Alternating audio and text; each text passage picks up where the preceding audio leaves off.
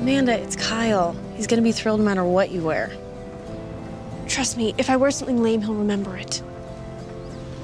Okay, what's the matter? I got a letter from this conservatory in New York. I applied there a long time ago to study piano. And I kind of got in. That's awesome. Oh, I would kill to get to go to New York. And I'm totally excited. It's just. It's for a whole semester, and The long distance thing. Explains your attention to detail. yeah.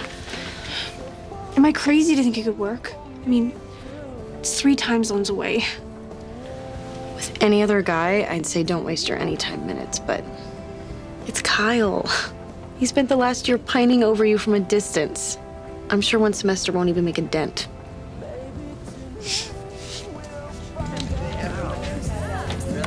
Dig in. Don't worry, there's like zero nutritional value in there. No thanks.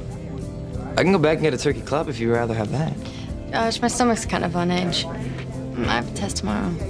Oh. Well, fear not.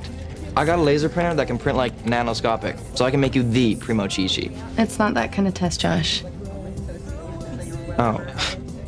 You mean, It'll tell the doctors if I need more chemo. right. You should get some popsicles then. No, I was reading online that chemo makes you really dehydrated, and one thing that helps is popsicles. Josh- No, seriously. What flavors do you like? You know, just in case the cancer's back. Please don't use the C word. The other C word.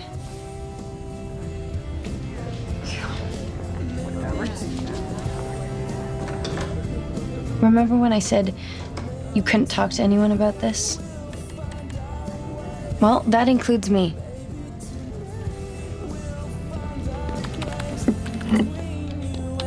me.